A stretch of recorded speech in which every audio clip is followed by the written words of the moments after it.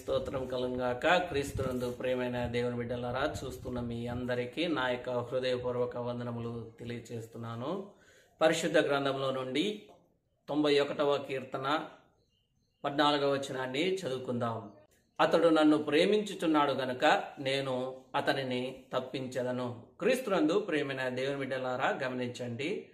అతడు నన్ను ప్రేమించుచున్నాడు గనుక నేను అతనిని తప్పించెదను అని వ్రాయబడినట్టుగా చూస్తున్నాము. ఒక వ్యక్తి అట దేవుణ్ణి ప్రేమిస్తే దేవుడు అతనిని సమస్తమైన కీడు నుండి సమస్తమైన వాటి నుండి తప్పించి ఆయనను రక్షిస్తాడు. అయితే దేవునిని ప్రేమించే వారిని దేవుడు తప్పిస్తాడు అని ఈ కీర్తనకారుడు వ్రాస్తున్నాడు. యోహాను సువార్త ఇరవై ఒకటవ అధ్యాయము పదహైదవ వచనములో ఇలాగూ వ్రాయబడింది. పేతురును యేసుక్రీస్తు వారు అడుగుచున్నాడు. పేతురు నీవు నన్ను ప్రేమించుచున్నావా? అని అడుగుచున్నాడు. అయితే పేతురు ఇలాగూ చెబుచున్నాడు అయ్యా నేను ప్రేమించుచున్నానని నీవు ఎరుగుదువు అని చెప్పాడు.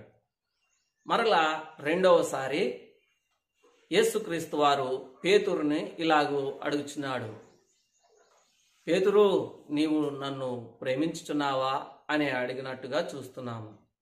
అయితే పేతురు మరలా రెండవసారి అయ్యా నేను నిన్ను ప్రేమించుచున్నానని నీ వెరుగుదువు అన్నట్టుగా చూస్తున్నాం. అయితే నా గొర్రెలను ఖాయము అని యేసుక్రీస్తు వారు సెలవిచ్చాడు. మరలా కాస్త సమయమైన తర్వాత యేసుక్రీస్తు వారు పేతురుని మరలా మూడవసారి పేతురు నీవు నన్ను ప్రేమించుచున్నావా అని అడిగినట్టుగా చూస్తున్నాము ప్రియమైన దేవుని బిడ్డలారా ఆ మాటకు పేతురు వ్యసనపడి ప్రభువా నీవు సమస్తమును ఎరిగిన వాడవు. నేను నిన్ను ప్రేమించుచున్నానని ఎరుగుదువు అని అన్నట్టుగా చూస్తున్నాము యేసుక్రీస్తు వారు ఎలాగైతే పేతురును నీవు నన్ను ప్రేమించుచున్నావా పేతురు అని ఎలాగైతే అడిగాడో నేడు కూడా నీవు నన్ను ప్రేమించుచున్నావా అని యేసుక్రీస్తు వారు అడుగుచున్నాడు. మరి నీవు నేను ప్రేమించేవారిగా ఉన్నామా? లేదా? అని కొన్ని నిమిషాలు లేఖనాల ద్వారా తెలుసుకోవడానికి ప్రయత్నం చేద్దాం. పరిశుద్ధ గ్రంథంలో నుండి యోహాను స్వార్త రెండవ అధ్యాయము మొదటి నుంచి కొన్ని వచనాలను చూసినట్లయితే ఇలాగ వ్రాయబడింది. యేసుక్రీస్తు వారు తన శిష్యులు యేసుక్రీస్తు వారి తల్లి అయిన మరియా ఒక వివాహానికి పిలువబడినట్టుగా చూస్తున్నాం. అయితే ఆ వివాహములో కొరత ఏర్పడినప్పుడు తల్లి అయిన మరియా యేసుక్రీస్తు వారితో అంటుంది అయ్యా అని అక్కడున్న సమస్యను చెప్పినట్టుగా చూస్తున్నాం. యేసుక్రీస్తు వారు మరియతో ఈ మాట అంటున్నాడు అమ్మా నాతో నీకేమి పని? నా సమయం ఇంకనూ రాలేదో అమ్మా అన్నట్టుగా చూస్తున్నాము అప్పుడు యేసుక్రీస్తు వారి తల్లి అయిన మరియా శిష్యులను పరిచారకులను పిలిచి ఆయన మీతో చెప్పినది చేయుడి అని చెప్పినట్టుగా చూస్తున్నాము.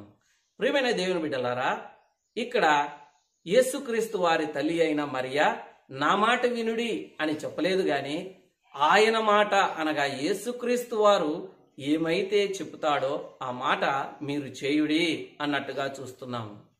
కొంతసేపటికి యేసుక్రీస్తు వారు శిష్యులను పరిచారకులను పిలిచి ఆయన చెప్పినట్టుగా చూస్తున్నాం. ఆయన చెప్పినట్టుగా వారు విని అక్కడ అద్భుతం జరిగినట్టుగా చూస్తున్నాం. అంతేకాదు ఆయన చెప్పినట్టు వినటమే యేసుక్రీస్తు వారిని ప్రేమించినట్టుగా చూస్తున్నాం. ఈ లోకంలో తల్లిదండ్రులు చెప్పినట్టుగా వింటే నా కుమారుడు మంచివాడు నా కుమార్తె మంచిది అని వారు ఎలాగూ ప్రేమిస్తారో దేవుడు కూడా నిన్ను నన్ను ఆయన చెప్పినట్టుగా విని మనము చేస్తే ఆయనను ప్రేమించినట్టుగా ఆయన కూడా మనము ప్రేమిస్తాడు అని పరిశుద్ధ గ్రంథం తెలియజేస్తుంది.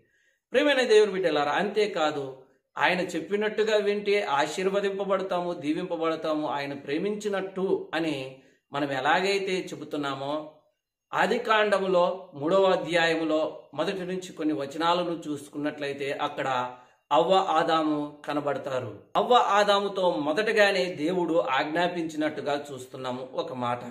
అయితే ఆ మాటను వారు ధిక్కరించారు దేవునికి దూరమైనట్టుగా చూస్తున్నాము. మొదటగా ఆ కానాను వివాహములో యేసుక్రీస్తు వారు ఏమైతే ఆజ్ఞాపించాడో ఆ మాట విని వారు చేశారు అక్కడ అద్భుతాన్ని చూశారు. వీరు ఇరువురు దేవుడు మాటలు విన్నారు కానీ అతిక్రమించారు. అందుకే ఏదేను తోటలో నుండి త్రోసివేయబడినట్టుగా చూస్తున్నాము పరిశుద్ధ గ్రంథం మనకు ఏమని సెలవిస్తుందంటే మొదటి యోహాను పత్రిక మూడవ అధ్యాయం నాలుగవ వచనం ఆజ్ఞ అతిక్రమమే పాపము అని వ్రాయబడింది. ప్రేమని దేవుని బిడ్డలారా మనం ఏమో చేస్తే పాపమని కాదు కానీ నీవు నేను దేవుని మాటను ధిక్కరించడమే పాపము అనగా దేవుని మాటను నిర్లక్ష్య పెట్టడమే పాపము అనగా దేవుని మాటను ఎప్పుడైతే మనము వినకుండా ఉంటామో పెడచెవ పెడతామో ఆ పెడచెవ పెట్టడమే పాపము అని పరిశుద్ధ గ్రంథం తెలియజేస్తుంది. పరిశుద్ధ గ్రంథంలో నుండి యోహాను సువార్త పద్నాలుగవ అధ్యాయం పదహైదవ వచనములో ఇలాగ వ్రాయబడింది. మీరు నన్ను ప్రేమించిన ఎడల నా ఆజ్ఞలను గైకొందురు. అని వ్రాయబడింది. అంటే దేవునిని ప్రేమించేవారు అట ఆయన ఆజ్ఞలు గైకొందురు. అంటే దేవునిని ప్రేమించేవారు దేవుని మాటకు లోబడుతారు అని ఆ మాటకు అర్థం.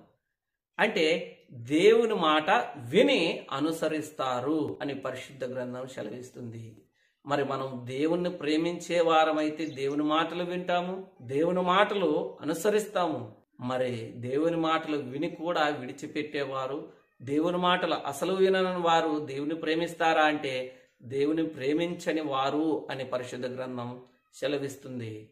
ప్రేమైన దేవుని బిడ్డలారా మరి నీవు నేను దేవుని ప్రేమించేవారిగా ఉన్నామో లేక ఆయనను ధిక్కరించేవారిగా ఉన్నామో ఒక్కసారి ఆలోచన చేయవలసిన విషయం పరిశుద్ధ గ్రంథంలో నుండి యోహాను సువార్త మూడవ అధ్యాయము పదహారవ వచనములో ఇలాగ వ్రాయబడింది. దేవుడు లోకమును ఎంతో ప్రేమించును.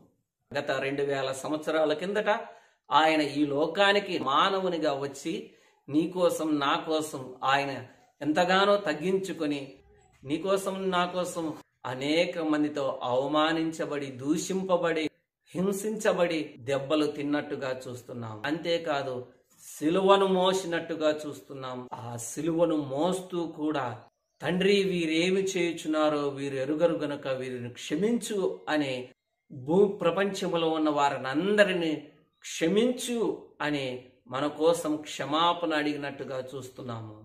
నీకోసం నా కోసం ఆయన సిలువను మోసినట్టుగా చూస్తున్నాం. అదే సిలువలో ఆయన మరణించినట్టుగా చూస్తున్నాం. దేవుడు అనబడిన వారు అనేకులను ఇంత ప్రేమ కలిగిన దేవుడు ఎక్కడా దొరకడు లేడు అని మనము తెలుసుకుంటున్నాము. ప్రేమైన దేవుని బిడ్డలారా దేవుడు ఎంత ప్రేమిస్తున్నాడో నేడు మనము తెలుసుకున్నాము ఆయన ప్రాణాన్ని సహితము ఇచ్చి మనల్ని ప్రేమించాడు.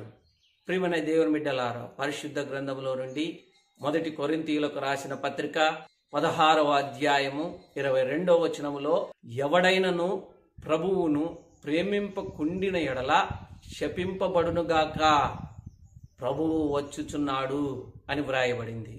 ప్రియమైన దేవుని బిడ్డలారా ఎవరైనను ప్రభువును ప్రేమింపబడకపోతే శపింపబడునుగాక అనగా శపింపబడతారు అని పరిశుద్ధ గ్రంథం తెలియజేస్తుంది. ఆయనను ప్రేమించేవారిగా ఉందాం. ఆయనను ప్రేమించకపోతే శపింపబడిన వారిగా అవుతాం అనగా ఆయన మాట వినకపోతే నీవు నేను పాపము చేసిన వారిగా అవుతాం ఆ పాపము వలనే శాపం మరింత ప్రమాదకరంగా మారి నిన్ను నన్ను నరకానికి ఈడ్చికెళ్తుంది గనక దేవుణ్ణి ప్రేమించే వారిగా ఆయన మాటను వినేవారిగా జీవించుదాం దేవుడి కొద్ది వాక్యాన్ని దీవించి ఆశీర్వదించిన గాక. ఆమెన్. అందరూ తలలోంచి కళ్ళు మూసుకున్నట్లయితే ప్రార్థన చేసుకుందాం. మహాపరిశుద్ధుడా మా ఏసయ మీకే స్తులు స్తోత్రం తండ్రి ఈ దినాన నిన్ను ప్రేమించే వారిగా మేము ఉండాలంటే కేవలం నీ మాట వింటే చాలునైనా కేవలము నీ మాట విని మేము అనుసరిస్తే చాలునైనా కేవలము నీవు చెప్పినట్టుగా జీవిస్తే చాలునైనా నీవు మమ్మను ప్రేమించావు నీ ప్రాణమిచ్చి ప్రేమించావు. నువ్వు మా కోసం అవమానించబడ్డావు. నువ్వు మా కోసం కొరడాలతో దెబ్బలు తిన్నావు. కేవలం మా కోసం భరించావు. తండ్రి అనేకులు నిన్ను అవమానించారు. తండ్రి మా కోసం నీవు బల్యముతో పొడిపించుకున్నావు. ఎంత ప్రేమ నాయన! ఇన్ని చేసిన తండ్రి వీరు ఏమి చేయుచున్నారు వీరిని క్షమించు అన్నావు. నీ ప్రేమ కలిగి మేమందరము జీవించే భాగ్యాన్ని దయచేయండి. తండ్రి నిన్నును మేము అందరము ప్రేమించేవారిగా జీవించేవారిగా. తండ్రి నీ మాటను ధిక్కరించక పాపాన్ని శాపాన్ని తెచ్చుకొనక నీ ప్రేమను పొందుకునే భాగ్యాన్ని దయచేయండి. యేసు క్రీస్తు నామంలో అడిగి వేడుకొనొచ్చున్నాము తండ్రి. ఆమెన్. ప్రియమైన దేవుని బిడ్డలారా ముఖ్య గమనిక మహారాజు మినిస్ట్రీస్ అనే ఈ యూట్యూబ్ ఛానల్ను లైక్ చేయండి షేర్ చేయండి సబ్స్క్రైబ్ చేయండి. అనేకులకు ఈ పరిచర్యను మీరు పరిచయం చేయండి. యేసుక్రీస్తు నామంలో మీకందరికీ నా యొక్క శుభములు తెలియజేస్తున్నాను. ఆమె